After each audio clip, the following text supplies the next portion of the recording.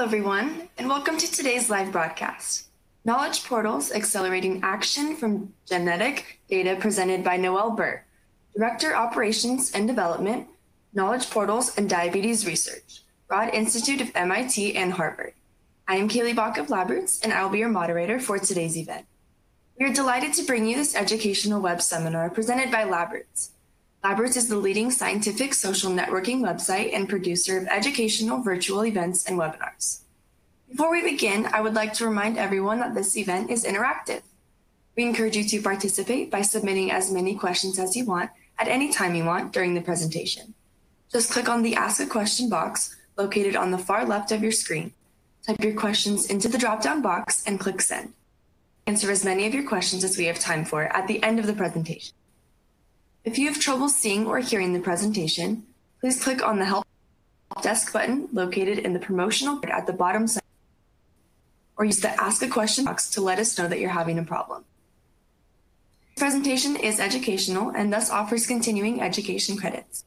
Please click on the Continuing Education Credits tab located in the top right corner of the presentation window and follow the process to obtain your credits. Please join me in welcoming Noel Burtt. I will now turn the presentation over to her.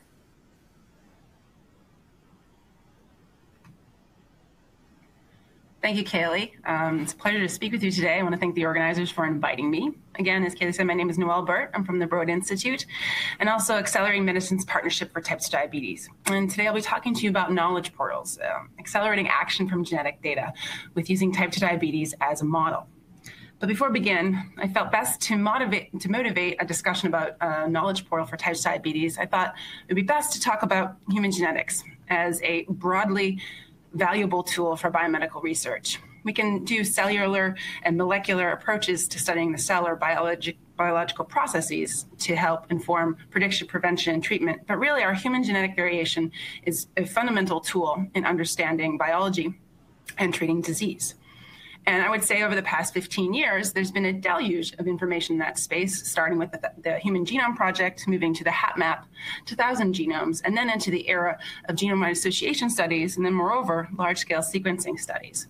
And it's really been quite amazing to be part of this field myself for the past 15 years. But what's been challenging is that we're really seeing genetics as a science of data and this is even outdated slide right now, um, at the Broad Institute alone, we've been lucky to just recently have sequenced our 100,000th whole genome. And the number of exomes is growing exponentially, as you can see worldwide, and both at the Broad Institute, we've done over 250,000. But the challenge here is getting this data to people who can use it and make sense of it, particularly for complex diseases. And the status quo right now is that these data are all over the world in various institutions, various academic organizations, and various companies. And if you wanted to interact with this data, you'd have to go to many different places. And in many cases, the data aren't even accessible to you because you may not be an expert in statistical genetics, or you may not know be part of the consortiums or collaborations that allow these data to be available. So we envision a future in a world where someone could interact with this data, search it, query it, and actually even better analyze it. So how might we do that? Well, we envision a case that you could actually bring these data together. And you can imagine that there would be one place all over the world, but you can imagine certain certain trusted places where data could be brought together from various institutions, respecting the provenance and the location of those data, but harmonizing them together in an integrated way you seeing them, representing them, stored, storing them such that they're protected, but also allowing a user to interact with them. Because what's critical is making these data available to the world will definitely have an impact on human disease. And that's the most significant contribution that all these data can actually bring. So I'm going to offer you one potential solution over the course of our talk today, which is a knowledge portal with a model in type 2 diabetes. And I'm going to talk to you a little bit about how we're doing that first, and then I'll walk you through actually how might you actually use the tool. So first, why diabetes? Well, it is a quintessential complex trait, in my opinion. Um, it, it, affects about 45, 415 million people worldwide. It's pandemic, and it also has a very highly heritable component with a risk of 30 to 70 percent. And it is the leading cause of cardiovascular disease and kidney failure in the world. So it's an extremely powerful disease to study from this perspective. So type 2 diabetes has been really successful, I think, in human genetics. So um, as of 2017, there have been about 150 loci associated with type 2 diabetes. So GWAS, candidate gene studies, sequencing studies have done well to identify loci, which is great. But the challenge is, what do all these loci do? What are the variants that these loci do? And actually, how might we figure out their function and even moreover, the treatment for type 2 diabetes? Because this is an extremely powerful tool to uncover it, but what do you do with these data once you have them? So the next step is to take these GWAS signals and translate them into biological insights. Well, for that, you need many things come to bear. You need to fine map the region. You need to know all the coding changes at the region. You need to know the underlying genes. You need to know the chromatin states and activities. But all these data need to be integrated such that you could find the causal gene or variant at the locus. But to do that, you need many approaches and many data sets, and these need to be integrated, but they all have their own data provenance, domain expertise, which not everyone in the world can be an expert in, but they all need to be mined and integrated in a way that someone could ask questions of the data. So we present and hopefully can, are getting a little bit closer specifically for diabetes and genetics, is a means to make this data available to not only just a statistical geneticist who's working in the field, who has some data that they've analyzed for type 2 diabetes, who wants to see it in the concert of all the other genetic data available in the world for type 2 diabetes. Also make it available to the basic researcher who has a hypothesis about a gene or a product or a biologist who's been studying a gene in the lab in a mouse model for years, and they want to know if you perturb it in a human, what is the effect phenotypically? And finally, we want to make better treatments. We want to make a way for people who are in the pharmaceutical arena to make better treatments to say, of the list of targets that they might study, why might they go after this one over another one? And human genetics is one very valuable tool in that space. And finally, for clinicians who observe a sequence variant in their patient and want to know what the heck it does. So for this, offer the type 2 diabetes knowledge portal. Now, this has been around for about three years now. Um, it's open access. All you need is a Google, Google account. And today I'm going to walk with you how we built it, what's underlying, and some of the tools within it with which you can use to search, query, and analyze human genetics data for type 2 diabetes. But in order to do this, you really need an organizational body to support you, someone who really believes in this mission. And so we're very lucky to partner with the NIH and five pharmaceutical companies in a public private partnership that is solely at its mission to advance the understanding of type 2 diabetes and its complications. And the cornerstone tool of this is a knowledge portal for type 2 diabetes. But also, the goal is to generate more data for type 2 diabetes and its complications and enable these information to be readily available to the world to support drug discovery. It's a really unique collaborative model, I think, because it's not only just a bunch of people working together in an academic setting, we're also partnering with industry in a pre competitive space, such that they're sharing the targets that they're interested in looking at with us, and they're making them available to each other, which is very cool. Moreover, there are grants in this funding opportunity to bring data to bear, not only aggregate data all over the world, but also generate new data relevant to type diabetes. There's also sites funded to build tools and methods, make better tools and method to integrate and mine genetics data. And all this comes together with a data coordinating center, which I'm going to talk about a little bit because that's really at the anchor of representing human genetics data to the world. How do you do this? How do you see that vision that I showed you at the beginning of bringing data from various sites together, analyze it, QC it, harmonize it, and then make it accessible via a portal? So for that, we'll talk about the core objectives that we've achieved with the type 2 diabetes knowledge portal and where we hope to be headed. So there are three things I'm going to go through today. One is about the ingest and the analysis of the data. How do you build a warehouse or a clearinghouse for these genetics data? Then how do you serve it up? How would you want to look at it? How would you want to interact with it? But this is the portal, and these I'll walk you through the various workflows and tools that we have that you can search the data. And then finally, if you've done this successfully, um, you can scale this to other diseases, particularly related diseases, but moreover, all common diseases. And then also, you hope that once you've figured out how to integrate human genetics data, you want to layer other data types. Because what, you, what I was saying earlier, in order to actually make any inference about variants and what their function is, you have to layer in other data types and allow visual representation of all those data sites in concert. So first, let's talk a little bit about the ingest and analysis of data. So for that, this is really our data coordinating platform. We're very lucky to be at the Broad Institute where we are funded to do this, and we're very lucky to represent the community on this, this, this effort. There are four components, I would say, to a data coordinating platform. And the, all of these need to be wrapped together in a modular and flexible software system that can be ported elsewhere, that can be added to, and then can adapt and scale. So these four components I'm going to talk a little bit about. But the first of them is engagement and collaboration. You can't do this for every disease unless you bring the community along with you. You have to have the expertise from that particular domain, that particular disease to gather requirements. What do they care about in that particular area? You have to collaborate such that there's trust. And you have to engage with them to figure out how you might do this. Then you have to have a data ingest and warehouse platform. And for this, we did this manually the first couple years. It was about a handshake with data providers who are trusting us with bringing their human genetics data to us. We would work with them on the templates for transfer, how you bring them in, and then analyze it. And I'll talk a little bit about that in a minute.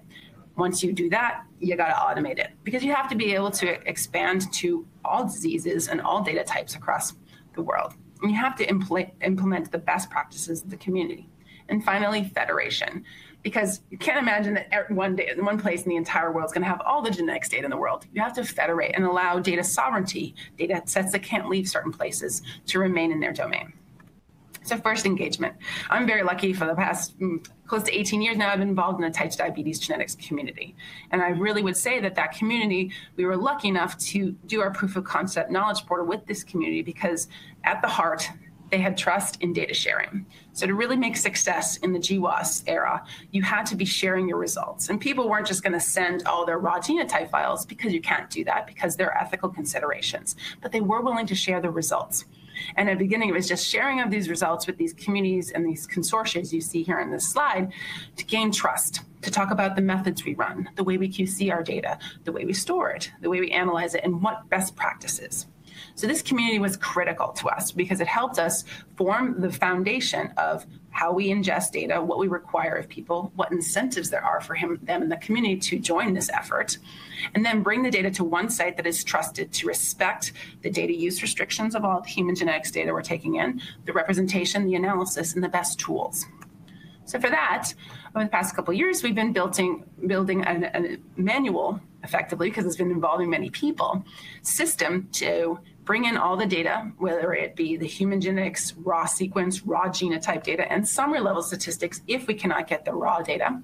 Bring in all the traits. So you have all these deep reach phenotypic traits, not just diabetes, but all the traits that go with it, all the metabolic and cardiovascular traits. Then all the ethical documentation that we store so we knew how we can and cannot use the data. Then you have to build a system to store it, to protect it, and make sure that it's never exposed to the world in a way that would be any against the ethical documentation underlying. Then you have to run all the analysis on the data.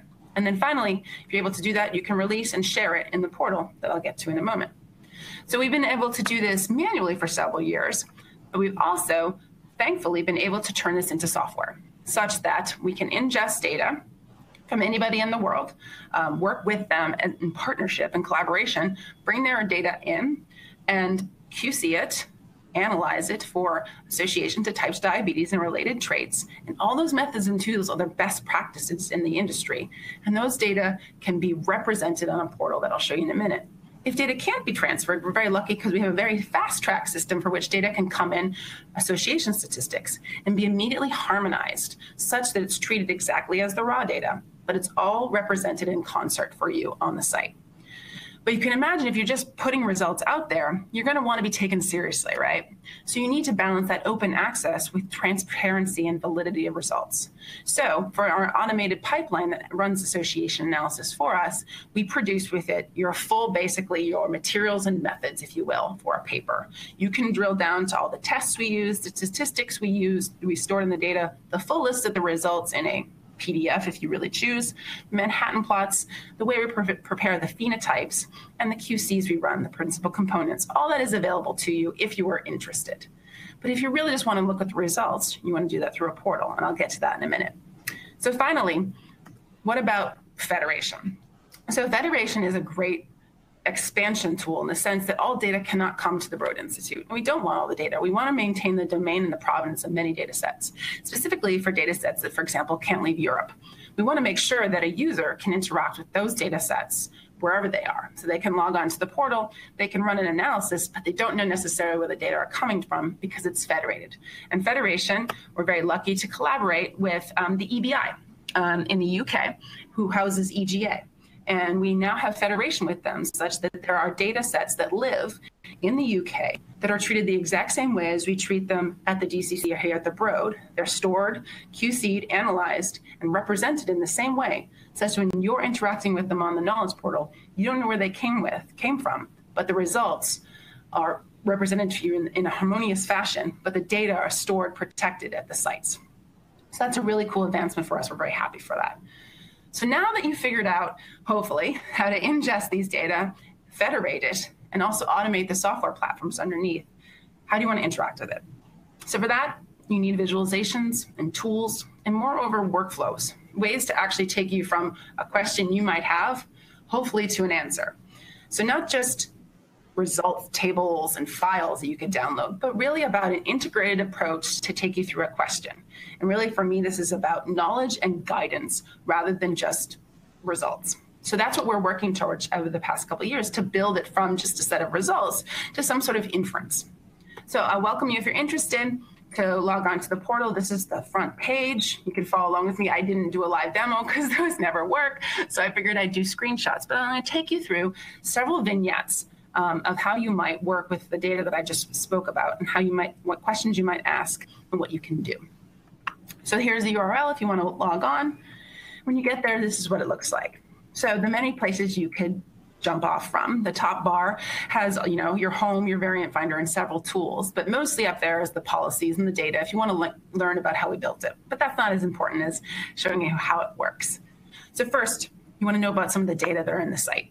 Well, the data that I spoke about earlier comes from this human genetics, um, the type 2 diabetes genetics community. Right now, we represent over 30 data sets in about 62 traits.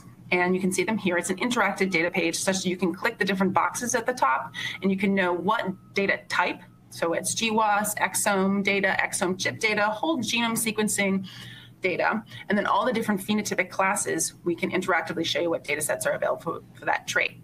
This represents integrated representation of both results derived from de, no, de novo genetic analysis of individual level data, but also pre-computed statistics. So these are the data. How might you work with it?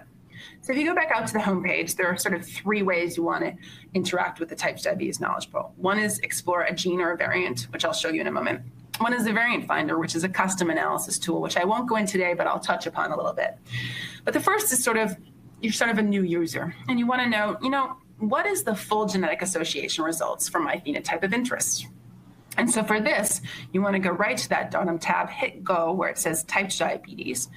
And what it will bring you to is what's kind of classic in genomic space is the representation via Manhattan plot of the chromosome chromosome and all the p-values for the type 2 diabetes in the largest data set we have in the knowledge portal by default. So this is the ExTexT2D exome chip analysis, which was just recently published and brought to bear on the site the same day publication was made available.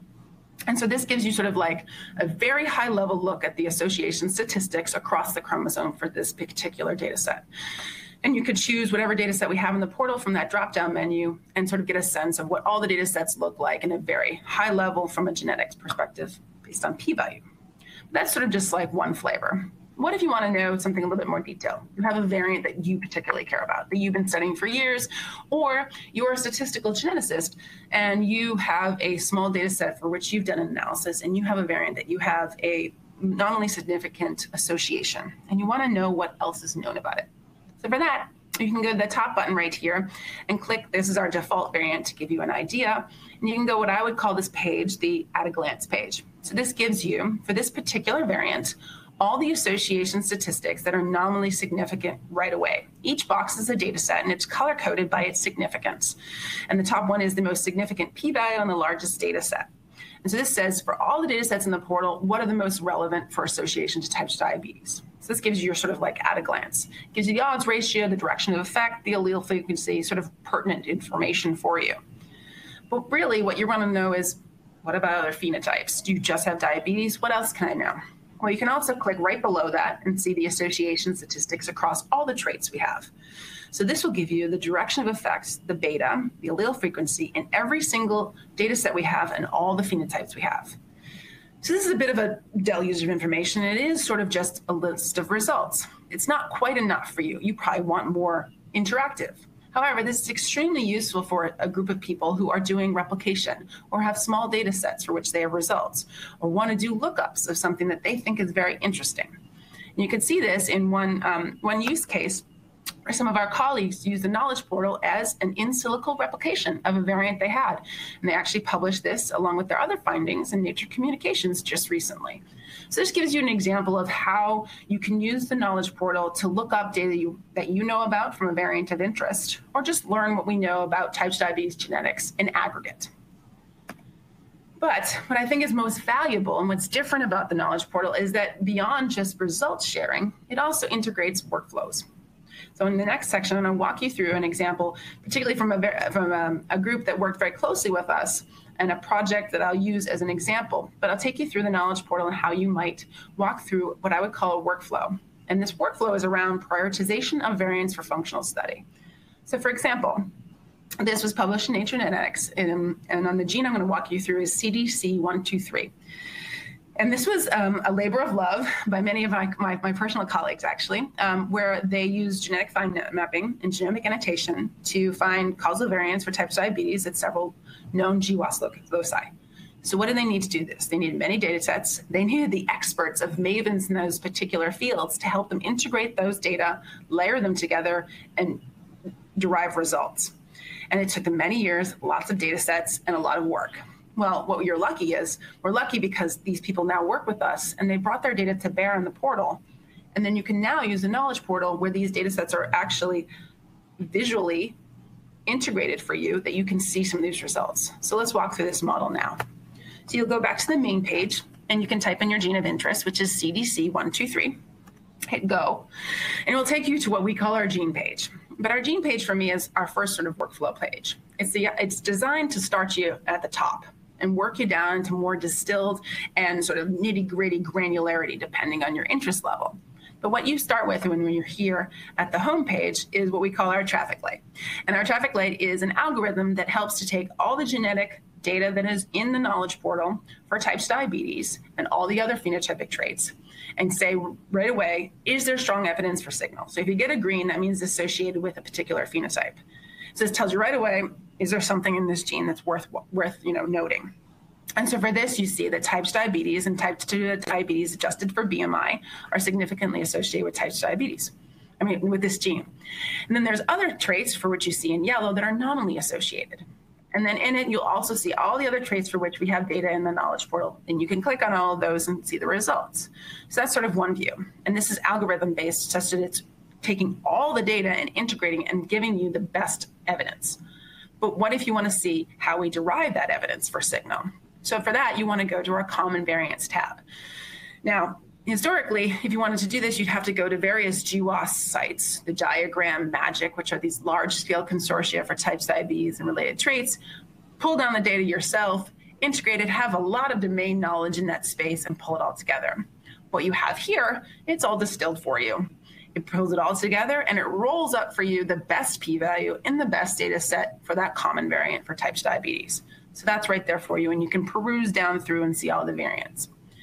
But what you if you want to know about high impact or coding variation at this particular locus? You can go to the next tab that if this gene, which doesn't have any coding variations in it, you would have you would see all the high impact variant results for type 2 diabetes. But what we do do is if there are low frequency variants from um, sequencing that are here in, um, in CDC 123, you will also get the aggregate variant test results right there pre-computed for you. But that's just one view. You want to go deeper. You might want to say, hmm, I want to see what's around this site. So this is a you know a gold standard in the field. LocusZoom gives you your region view. This is used in many papers that represent you know any fine mapping for type B. I mean common diseases, GWAS signals that is. So you can go here. You can select your phenotype. You can select your data set, and then you can see the Manhattan. I mean the LocusZoom plot for all the variants at this site. This is again is a different view of all the association statistics for CDC 123 in a particular window. And if you want to layer integrated data sets, the, the, relevant tissue expression data you can layer on underneath it so you can get sort of a region view of this locus, all the association statistics, and all the genes underlying it. But this doesn't give you all you need if you want to prioritize variants for functional study. You want to know what's the best variant. I might go on if I want to go perturb it, understand its function, and actually know what is actually going on at this particular locus. For that, you want to go to our credible sets tab. This brings you to the, for a given region, the best variants that you would want to functionally follow up and study. Moreover, it actually then layers the tissue and the um, regulatory information on top of it such that you can see which is the best variant for studying. What you'll see here is that the best variant from um, the association analysis is not the one with the best functional data set. So you'll see the one that's got the yellow and orange tracks is one that overlaps with adipose tissue, HepG2 tissues, and islets. So this, from the posterior probability, is the most likely variant that you want to follow up for function. And this recapitulates the same SNP that we found in the Gaulton et al. paper. So this shows a way of layering the GWAS, the, all the, the genetic data, the fine mapping data, and the annotations, the tissue and expression data, in one visualization such that you can mine it and ask a question about it in that manner. However, that's all pre-computed. What if you want to go deeper? What if you want to do analyses that are hard to pre-compute because they're computationally heavy. What if you want to know how many independent so associations are there at a locus? Do conditional analysis. That requires interactive analysis. What if you want to run an aggregate gene level association for a custom set of variants that you are choosing on a set of samples that you want to choose? So this is where we get into sort of, I would call our sort of hypothesis testing or generation space. So everything I told you about earlier was about seeing results represented from pre-computed association statistics, whether we did it on the raw sequence data and genotype data or from summary level statistics that we had aggregated and integrated. But these two tools I'm going to talk to you about are interactive in the sense that when you're asking that particular question on the site, it is calling data on the fly and interactively running that data on the raw sequence and genotype level under the hood, protected, and then bouncing to you back the results. So this is a very cool tool, in my opinion, because this allows you to ask questions of the data on the fly um, based on hypothesis. So for that, you can go to our main page, and I'm going to use TCF7L2, which is a gold standard in type 2 diabetes genetics, as an example. It'll bring you to the, the gene page, as I showed you earlier, and showed you the top associations for both the phenotypes that are significant and nominally associated. But to do this, you want to go down here to the locus zoom tab again. So first, what if you want to do conditional analysis? What do you want to know? You want to know what's the best signal at this particular locus and what other SNPs might be contributing to the site, the signal, excuse me. So for here, you want to pick one of the data sets for which we have individual level data. And here's an example. So this is in our dynamic module. You'll see static, which is based on summary level statistics. And if you select that, it will bring up for you this METSIM study, which is an example of um, 9,000 people we have a, a, in, with individual level data. And then you can select the top SNP and you can run the conditional analysis on that particular variant. And this will use interactive analysis. So we'll use a tool called HAIL, which has been developed at the Broad Institute, which uses is run in the cloud and it runs dynamic association statistics for you and represents the results back to you on the fly. So if you do that, that's what you'll get produced. And you'll see by conditioning upon that SNP, what is the results that that what are the other SNPs, are there other signals at the locus that are contributing to the signal? And again, you'll get the layering of the tissues and whatnot. So that's one interactive module. The next one, which I find is really exciting to me actually, which is our GAIT tool. So this is to run, allow you to customize the variants you want to analyze and the phenotypic criteria you want to use. So for that, I'll give you another great example using SLC30A8. Again, you'll go to the gene page for that. You'll type it in and you'll see that it is associated with type diabetes. But you want to know basically what SNPs that are, you know, protein truncating, for example, are associated with type diabetes. So for that, you want to go down to the high impact variants tab. And you want to go to run a custom burden test. And for this, you'll come up with what our GAIT tool. And there's a guide there if you want to look through it and it'll tell you, give you some inference about how you might make your selections. But first, you want to pick your phenotype of interest. And we'll start with diabetes. You can also stratify by ancestry. You can, you can do your results stratified by ancestry, and there are five within the knowledge portal. Then you want to pick your variants. And this you can pick by the variant filters. Here I'm picking protein truncating and missense with a minor allele frequency of less than 1%. And for that, then you want to then load those variants and you can pick and choose which ones you want. If you only want a few of these, you can cl click and highlight which ones you want. Next step is you want to select a subset of samples based on phenotypic criteria. So for that, you'll see that we have 18,000 samples from whole exome sequencing available for you to query. So these are interactive analyses such you can run on the raw sequence data protected under the hood safely at the data coordinating center. So for this, you can select, for example, if you wanted to look at the different, these are different phenotypes for which you can select on and filter based on a criteria that you have. So what if you want to run by BMI, for example? You can type in a criteria that you would have, and it will automatically show you what samples you would be drawing from at that particular time. Then you'd be launching the analysis. And for this, and then finally your step would you control for covariates. And we have your standard PCs you would control for and then you would launch the analysis. Launching an analysis runs an association analysis, a burden test on the fly for you on the 19,000 exomes that are hitting, sitting behind the firewall and represents you the results on the fly. I find this to be one of the coolest modules, sort of that differentiates from just results sharing, but allows you, if you are sort of a maven or very interested in association statistics, you can actually do some hypothesis testing or actually moreover some inference on the site um, with interactive um, raw sequence data, just but only representing results. So these are sort of some of the vignettes I want to take you through. And you may be wondering who's using the site. Um, you know, it's it's not Google. it's not even close. But we're very lucky that we have about 7,000 users, which I think is pretty cool. Um, we're very excited with that. What's really cool is that we have about 100 interactive users a day across the world, but 66% of them are coming back, which I find really to be the most gratifying in the sense that it is useful to them in their research, which is perhaps the most important thing. And the average connection time is about eight minutes. And um, I mean, people are hopefully not just, you know, landing on the page and leaving, they're trying to do some things. And we'd like to extend that because we really want them to be using the site, giving us feedback, and hopefully making it better. So in the final few minutes, I want to take you through the last component of the knowledge portal, which is scaling to other diseases and other data types. And for this, we'll talk about two thing, places where we've scaled. Because once you've done this for types diabetes, really what our users have been asking for is phenotypes related to types diabetes. Because for types diabetes, most people don't die of types diabetes, they die of all the complications. So the micro, micro and macrovascular complications of types diabetes are really what they care about knowing if they can protect and prevent.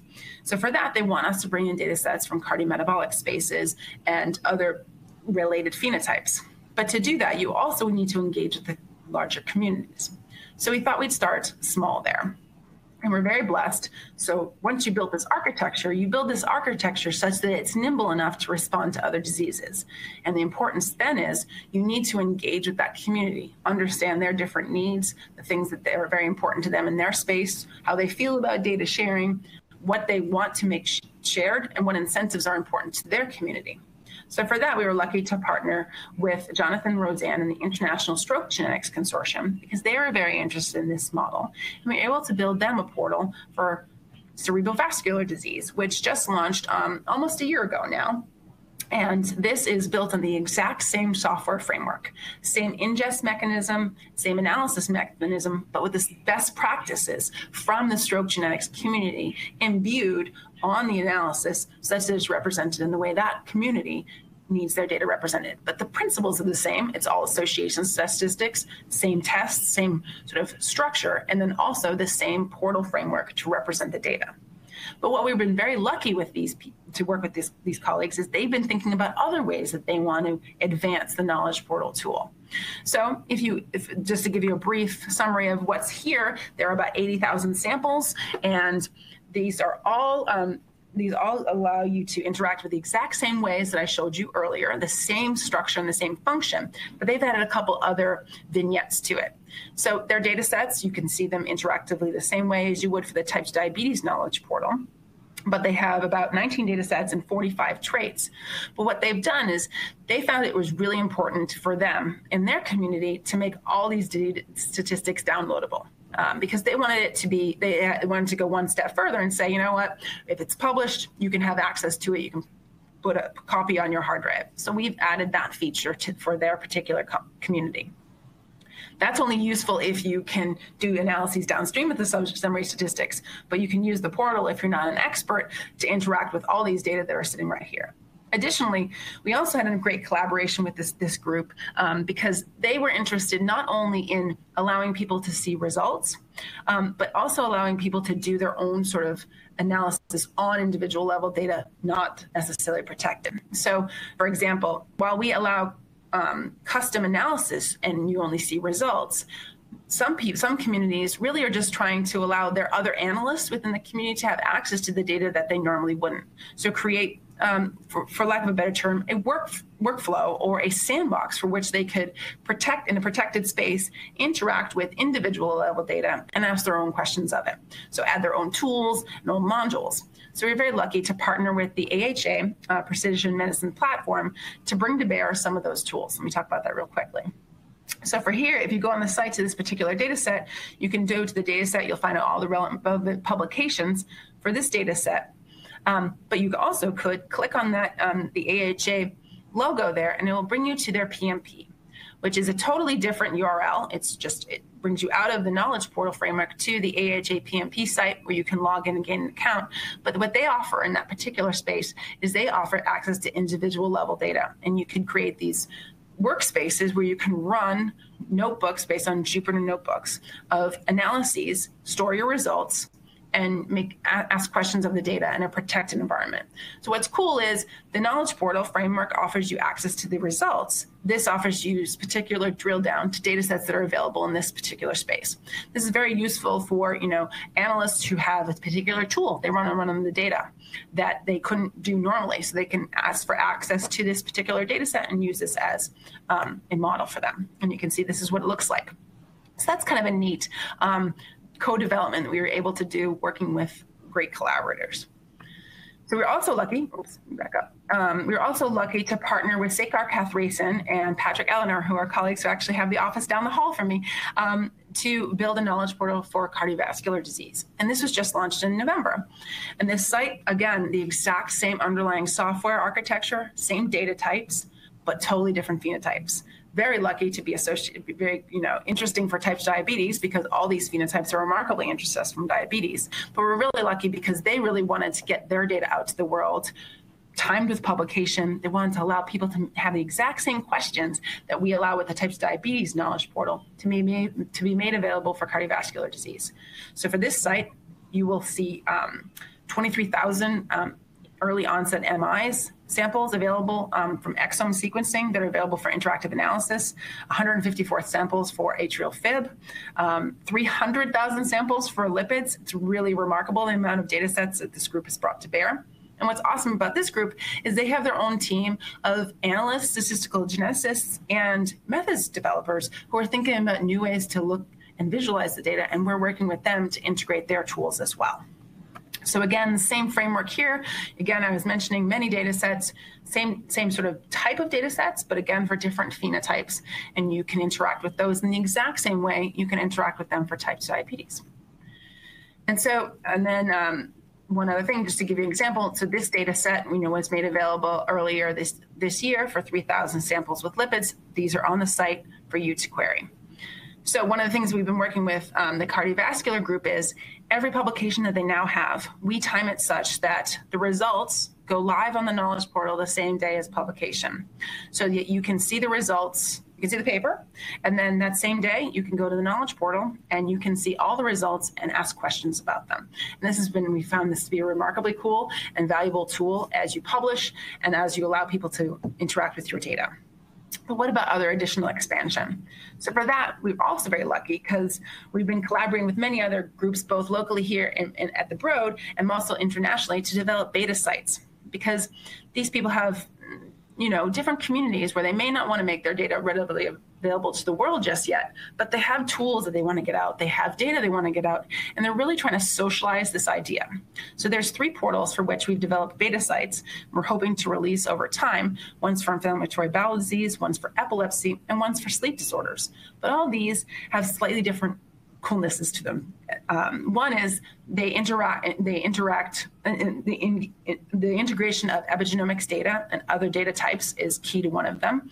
They also have different ways of representing results. The epilepsy has gene level tests that they want to represent right away. So we've been working them to develop interfaces for that. Sleep genetics our colleagues there just want a way of getting their data out upon publication. And that's really important to them because they found that that's been very limiting to them as even in their collaborative space. We're also expanding to new disease communities, including Alzheimer's disease, Parkinson's disease, ALS, and lipid biology. So, what's exciting about this is this is teaching us how to expand the software platform, but also integrate and collaborate with other people who have different ways to represent and visualize the data.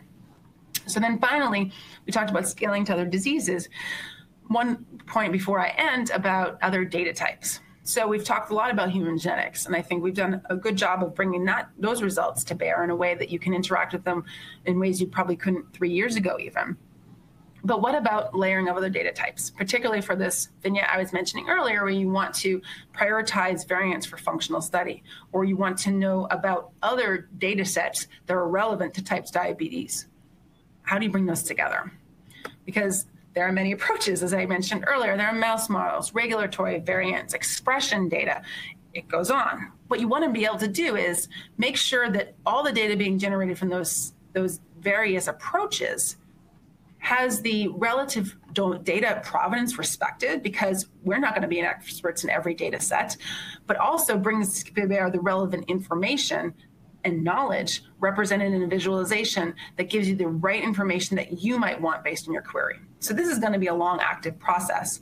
But for us, what we're starting with is using the model of federation. And the reason federation is critical is because we can't reinvent the wheel for, for example, what ENCODE has done for years or what GTEx has done for years. We want to leverage their work and integrate it such that it represents the domain of that particular field, but integrates it in a way that uh, answers the questions that people might want to ask for the particular disease or phenotype or variant that they're asking about it.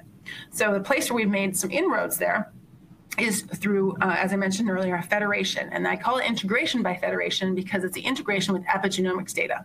So our colleagues at the University of um, San Diego are working with us because they have all the raw epigenomics information data stored, QC'd, analyzed in the way that's best from that particular field. And now on the knowledge portal in the coming months, when you query those those tissue layers that I was showing you, it won't just come from our repository here at the Data Coordinating Center. They will come from the Epigenomics Federation that is at UCSD, bounced to you and represented for to you, such that we can bring in individual level data sets we never normally could We're going to have the domain expertise from that world, and it's all integrated for you on one site. And so we're hoping to be able to expand that to different approaches and data sets such that it will make it such that people don't feel like they have to bring all their data one place. They can actually federate with us, and it creates a way of enabling far more data sets to come to bear. So where are we headed? Um, as I mentioned earlier, we want to expand this platform to ingest more new data types and new analysis capabilities. We're really hoping to reach out to other disease communities and figure out what types of questions they want to ask. We want to bring sites together also in the same space. You can imagine for type 2 diabetes, what's relevant to type diabetes is also relevant for, for heart attack. So you can imagine these sites coming together at some point into a cardiometabolic site. And our collaborators are really keen to do that because they want to leverage all the data inside of both. Because many of the data sets in type diabetes, those samples have trait data on heart attack or lipids. Same with data sets that might be relevant to cardiovascular disease, they're going to have type diabetes status. So if you can make the com- community comfortable with sharing in their own community, you can imagine a world where they're sharing across. And for that, you just have to have that very strong software platform underneath that is nimble enough to to add in the different communities but represent the data in an integrated fashion. So that's one way we're developing. We're also developing into new disease communities who have different ways of prioritization of variants, who have ways of uh, representing the data, who have different data sets to bring to bear, who have strong connections with biobanks, for example. Those are the places we're really hoping to expand. Moreover, we want to make the portal more useful. We want to create new and enhanced workflows and visualizations that incorporate different data types and layering, sort of like the Uber UCSC browser, if you will, if we could ever get that, that good at what we do. And finally, we want to scale and incorporate to news disease communities such that it's open access for every disease that's interested in building this. So this is hopefully sort of the beginning for us, and we um, I'm, I'm looking forward to answering questions. But I want to thank the people that I get to do this every day with. Um, this is the knowledge knowledge portal development team. Again, we're across oceans and borders. Um, it is really cool because it's a, soft, a joint software development effort. It's not just here at the Broad, it's at the University of Michigan and EBI and UCSD. I great people that I get to work with. These are the people I get to see every day um, who are computational biologists, engineers, and various leaders of the, the effort that I get to work with. And I also like to thank the participants in the AMP-TG partnership for their guidance and funding and helping us think about these complex problems and making them better. And with that, I'll end and take any questions. Thank you.